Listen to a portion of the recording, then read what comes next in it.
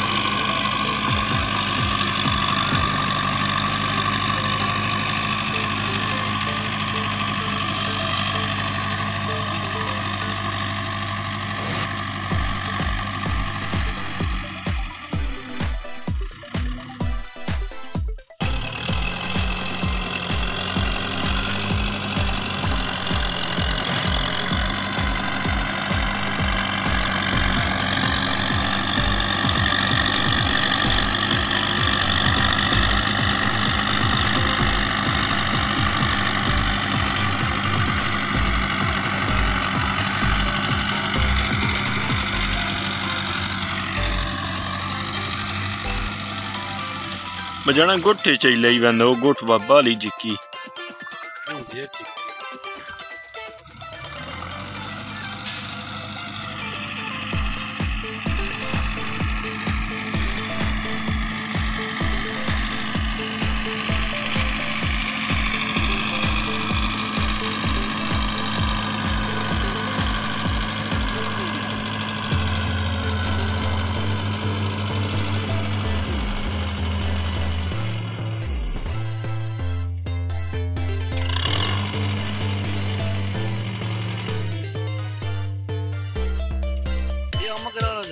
ਦਾ ਨਹੀਂ